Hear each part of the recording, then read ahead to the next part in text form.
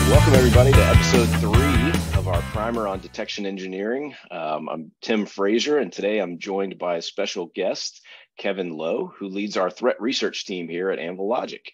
Kevin's been working in cybersecurity for over 10 years, including a long stint at one of the largest banks in the world. So he's been doing this at a pretty high level. Kevin, first off, thanks for joining us today. And I wanted to start by asking you to give us some brief insight into what threat research looks like. Do you have a list of sources that you proactively review, or do you have, uh, I don't know, inbound feeds that you monitor? Like, how does you just talk us through how your process starts? Yeah, we'll do. Uh, thanks for having me, Tim, and really appreciate the intro. Yeah, so kind of diving into threat research. My process generally starts during the day with like monitoring Twitter, Reddit, uh, Mastodon, kind of social media to kind of get an idea of what's trending. Um, I don't want to get scared by any serious vulnerabilities, but also just check out the top articles of the day and seeing what's of interest and if anything I can report out to the Anvil community. Okay, so you do have some key sources you go to. Um, you mentioned Twitter, Mastodon, a couple of those things. Are there some top Twitter handles or something that other people can follow if they want to kind of get good sources for this? Um, so I provide them in the uh, link below with um, the description. But yeah, generally, I don't want to butcher their names, but Kevin Beaumont, uh, Will Dormann, um, Malware Hunters, a lot of great um, researchers in, in the community very willing to kind of share out what they're seeing, their insights. Um, yeah, a lot of great, helpful individuals here that really help help make the community very um, informative. All right, yeah, no, we'll definitely do that. We'll put some some of your top Twitter handles to follow in the links below for anybody who's interested, so that they can kind of get a start and start to uh, keep track of that for those of us who um, are not avid Twitter posters, Twitter can be a poor man's RSS feed, right? so I, I, like to watch Twitter myself. Um, I don't do a lot of posting, but it's it's useful to kind of get a sense for some of the stuff that's out there and new things that come up. Usually create a Twitter storm, uh, so yeah. that's good. All right, so let's say when you when you find an interesting threat or a new threat, series of threats, you know, during your your review of the social media of things that are happening on the day kind of what do you do with that information and what are the next steps? How do you process it? Yeah for sure. Um, so kind of break down the intelligence we gather into two different levels so strategic which is more the informational and um, data breach or um, content that doesn't really have a technical component but it's always good to know. And then the tactical level where is the actual um, technical write-up where we can kind of map our Anvilogic use cases to detections to kind of offer up um, our, the community to kind of see what's happening and what kind of defense we have in place for a breach and intrusion like that that was reported. Okay, no, that makes a lot of sense. Uh, strategic stuff to be aware of, kind of think through. Is is the overall landscape shifting? But then tactical, obviously, um, for those of us who love to get technical with things, we need something we can actively go use, right? So so there's a, a component to that there. So maybe I don't know if you could just walk us through um, an example of a recent threat. Maybe start from some of the source information you got, maybe a tweet or a, you know an article or something, and then kind of step through your process uh, do you, you know, what do you go search on or do you review for more information? And then kind of what does the result look like that you produce for, um, in this case, for Anvil customers, but if somebody was doing it internally, I guess they'd be producing it for their own organization. So yeah, just kind of, can you step us through that process with an example? Yeah, for sure, Tim. I'll share my screen right now. Awesome. Um, okay, great. So this first one we start with is a reported uh, CISA article. Um, there's everything CISA uh, reports out has been phenomenal news. They do a great job reporting back to us of um, what they're seeing, um, gathering top TTPs. So this one is for Royal Ransomware um, in their Stop Ransomware series, which is very helpful in mapping all the TTPs for trending ransomware groups.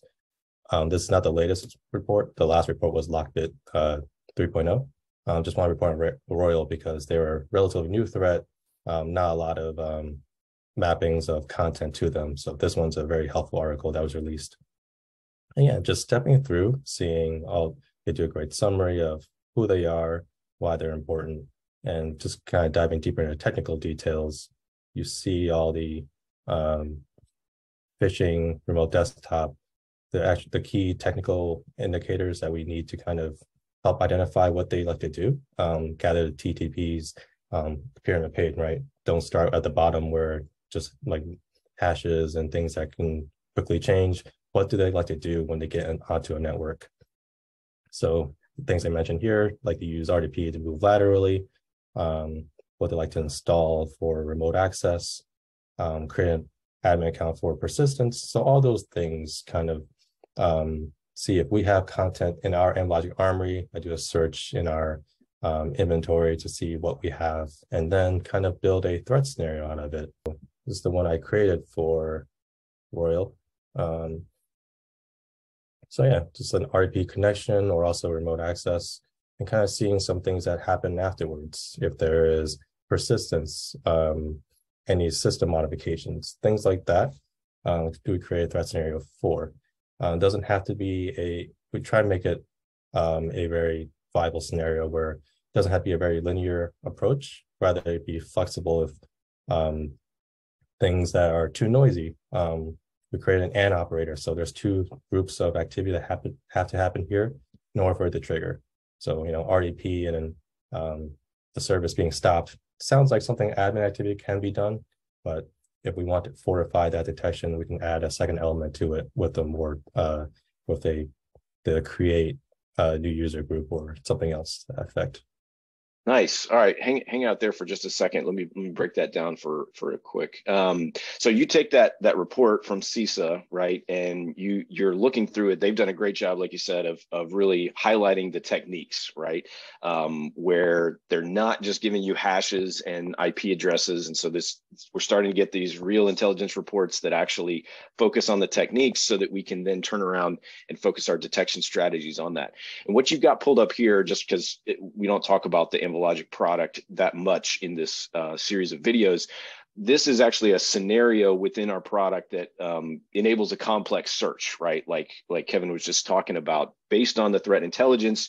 You know, kind of he he goes through and digests all that information and puts it into this format that really is running a search, right, from a tactical perspective. So that would be you know a much more manual process uh, that you would have to go through is to basically figure out all right we've got these different techniques. Let me go look and see if i can find those things happening in conjunction with one another.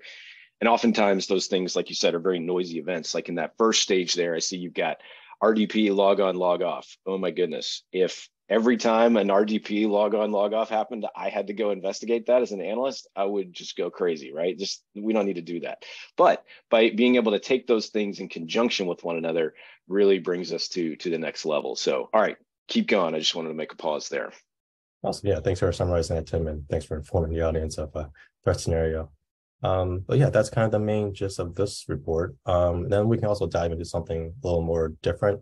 Um, Cybereason, another great um, security company, they do a lot of great reporting as well. So you see a more um, complicated intrusion from Black Basta using Qakbot. So this one also gets something that we can dive deeper into of uh, breaking down all the individual components and then kind of replicating that and and translating that rather into our Anvilogic threat scenario. So taking mm. everything that they've exploited, the Follina vulnerability from last year, and then kind of just walking through the reported intrusion um, and creating that flexible scenario where um, we can kind of uh, detect on multiple different facets of the intrusion. Nice. Yeah, that's a pretty complex scenario. Um, that would be something that would be very hard to uh, search for on our own.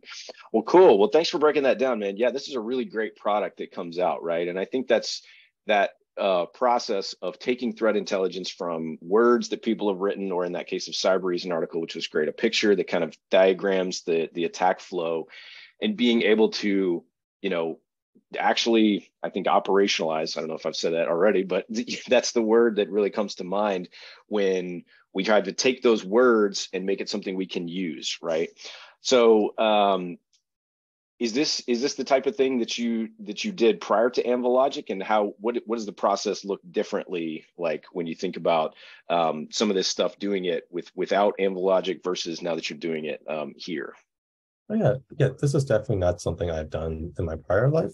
There's more. We always take like the individual indicators. So like just one portion of the intrusion, PowerShell being used. Do we have detection? I, sorry, it came from detection engineering. um, background along with forensics. So kind of you see singular elements of the attack. You don't really think you do think about the full intrusion, but that came that comes after in the report.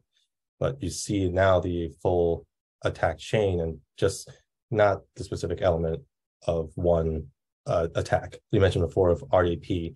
Yeah, like as an analyst, you hated going through and looking at who logged in and where they came from um, you, you, do um, augment those detections by saying like you know impossible travel logins things like that but there's just one part of the smaller story the threat scenario tells the full story of multiple different um, indicators of bad in your environment to help get you the information faster and make it just doesn't make one indicator uh, all that noisy all right, man. Well, thanks. Thanks for your time today. Thanks uh, for sharing this insight into what you do and how you do it, and then what product you produce on behalf of Anvilogic's customers. So, um, as a closing question, I just wanted to ask, like, now that you've kind of had that background in cyber for over 10 years and um, you know now you're doing threat research for somebody out there who says hey this seems really interesting i want to kind of review all this and really learn all this thing is there any sort of a career advice or thought you would you would pass on to an aspiring researcher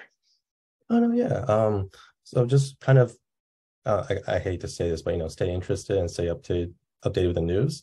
Um, I know the news give us a lot, but just reading about all these breaches or intrusions really gives you an idea of what you can expect coming to this type of role.